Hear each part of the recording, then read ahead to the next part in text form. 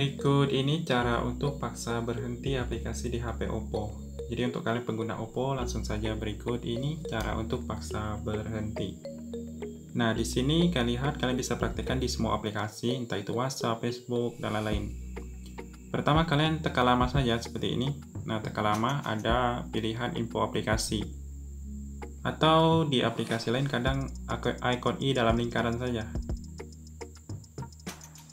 Nah, tetap ada info aplikasi. Jadi, tekan lama, pilih info aplikasi. Kita lihat di sini ada paksa berhenti. Pilih di sini, pengecualian dapat terjadi jika aplikasi diberhentikan secara paksa. Pilih paksa berhenti. Jadi, apabila suatu aplikasi kita pilih paksa berhenti, chatting, notifikasi, ataupun panggilan tidak akan masuk. Kecuali kalian aktifkan kembali dengan cara pilih di sini.